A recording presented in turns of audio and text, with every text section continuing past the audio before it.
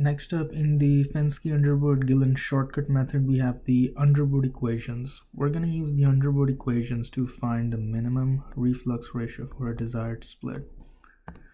Here we have the first Underwood equation, 1 minus Q equals the summation of the relative volatility times the mole fractions of species I in feed divided by relative volatility of species I minus the variable theta. The first equation will be solved for variable theta. Okay. Now keep in mind that Q is the feed quality which is defined as the enthalpy of saturated vapor minus the enthalpy of feed. The saturated vapor having the same composition as the feed mixture divided by the enthalpy of saturated vapor mixture minus enthalpy of saturated liquid. So according to this equation, the value of Q will be 1 if your feed is saturated liquid and the value of Q is going to be 0 if the feed is saturated vapor. And depending on whether you have a subcooled or superheated feed you can find the cal uh, you can calculate the value of q if you know the enthalpy of feed so once you've found the value of theta using the first Underwood equation you're going to use this value in the second Underwood equation to find the minimum reflux ratio. Notice how we have the compositions in the distillate so in order to use the Underwood equations, you need to have already calculated the splits using the Fenske. Um, as you can see, both of these equations are highly nonlinear and it's going to be a pain to solve both of them by hand. So I'm going to use Excel for this example that I'm going to do next. And also one keynote, there are going to be multiple values of theta that satisfy both equations. So the value of theta that you want to pick must be between 1 and the relative volatility of the light key with respect to the heavy key. So this is the value of theta that you want to work with. Here I have once again the uh, hydrocarbon, equimolar hydrocarbon separation that we were doing earlier. I found all these splits using the uh, Fenske equation. And we have our splits and I'm going to solve this problem for a saturated liquid feed, meaning my incoming Q is going to be equal to 1. So now let's over, head over to the uh, Excel workbook that I've created.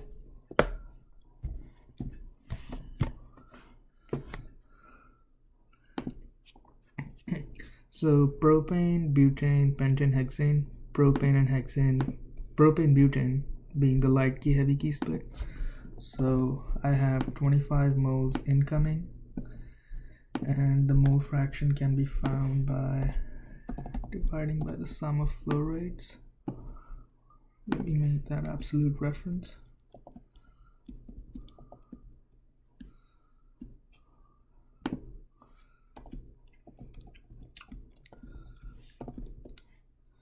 Just drag it down.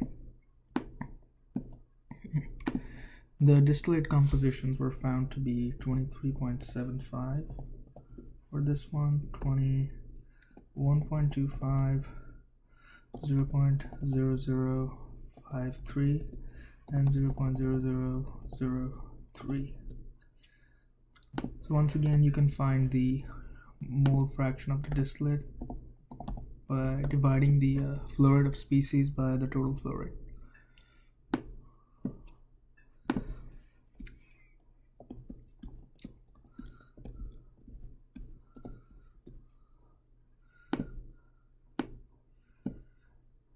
Okay, and the uh, relative volatilities were found earlier. So the relative volatility of propane with respect to butane was found to be 3.38 relative volatility of butane with respect to butane will be 1 0 0.308 let me just confirm these real quick. Okay 0, 0 0.323 and 0 0.109 and 0 so just a reminder that these uh, the relative volatilities are just fine, found by using the uh, by taking the ratio of the saturation pressures at the feed temperature. Um, our value of q since we're assuming the feed is saturated liquid is going to be 1 and we're just going to put uh, theta is the variable that we're going to solve for so I'm just going to put an initial guess of 1.1 okay what else do we now we need the okay now we need um this term and yeah now we need this term to find the value of theta. So I'm just gonna do that real quick. It's gonna be uh, I'll just call that the left hand side of the equation. And this is gonna be alpha i times the mole fraction in feed divided by alpha i minus theta and theta has to be the absolute reference. And now I'm just gonna drag that down and take the sum of it.